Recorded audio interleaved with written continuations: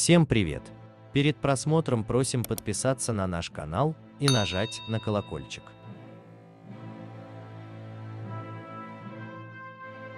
Нам стали известны подробности трагической гибели 40-летнего актера и танцора Максима Парфенова на востоке Москвы.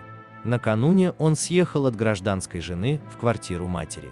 Соседи отмечают, что молодой человек плохо выглядел и постарел.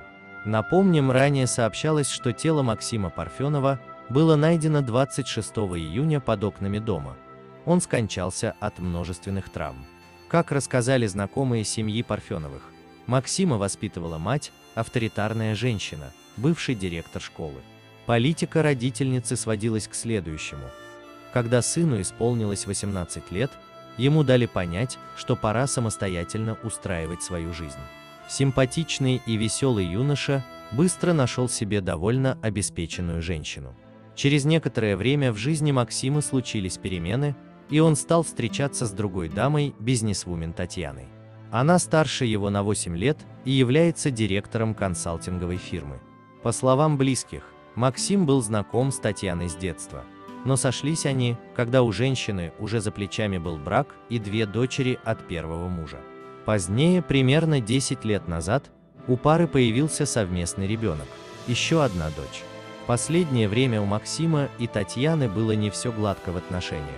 Со слов знакомых, женщина больше зарабатывала, и это угнетало артиста. К тому же пандемия практически полностью лишила его заработка, так как последнее время его основным занятием была организация праздников и свадеб. Некоторое время назад Максим съехал от супруги в квартиру матери на востоке города, пенсионерка в это время была на даче. Соседи отмечают, что ранее артист приезжал на дорогом внедорожнике Volvo лишь для того, чтобы привезти продукты матери и оплатить ее счета. Последний раз квитанции были оплачены за май. Всегда холеный, в хорошем настроении. А недавно появился заросший весь, помятый, с морщинами, как будто постарел. И Вольво его нигде не припарковано, рассказали соседи. Судя по расходу электричества и воды, Максим жил в квартире матери около месяца. Как пояснила мать артиста, подобные сложные периоды в отношениях ее сына с Татьяной уже бывали, и она не думает, что это стало причиной трагедии. Наоборот, все у него наладилось, карантин закончился, стали звонить заказчики.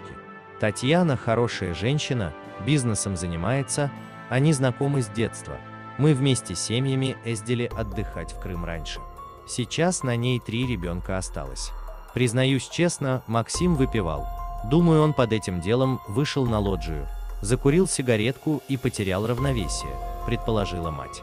Как сообщил источник в правоохранительных органах, в квартире найдены две почти полные бутылки конька и лекарственные препараты, принадлежащие хозяйке квартиры.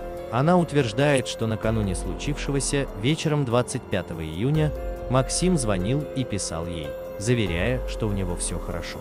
Просмотрев камеры видеонаблюдения, правоохранители не заметили ничего подозрительного. Тело Максима было обнаружено ровно в 8 часов 40 минут утра 26 июня. Артист лежал под окнами дома, был с голым торсом.